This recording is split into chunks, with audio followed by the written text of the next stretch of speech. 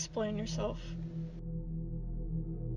Listen, you might as well fess up, murderer. Now that you're finally caught, you've got nowhere else to run. I don't think you'd get it. Try me, scum. if you insist. My name is Augustus Simone. I'm not a murderer. I'm an appreciator of art. I'm 29 years old, have no close ties to any living relatives, and I'm not married. I make ends meet by doing odd jobs here and there. I never arrive home late, and I am in bed before 10 p.m. I always get a good night's rest, and I never dream or sleepwalk.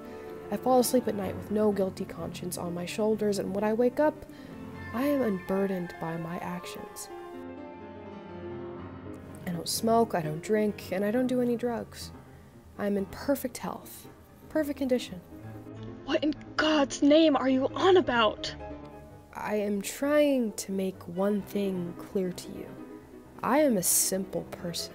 I don't care about jail, prison, the police, or trivial matters like good and evil. That would stress me out, make me lose sleep at night. I only care about one thing beauty. There is no beauty in this life. All that is corporeal is racked with the inherent need to survive, to overcome, all carried out with a frenzy that I find most unattractive. But there is beauty in art, pliable and limp. It commands nothing but divine attention, that most beautiful of gazes. It is what brings me my only happiness.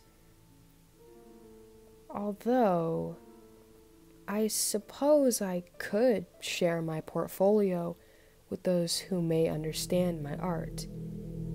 Even you.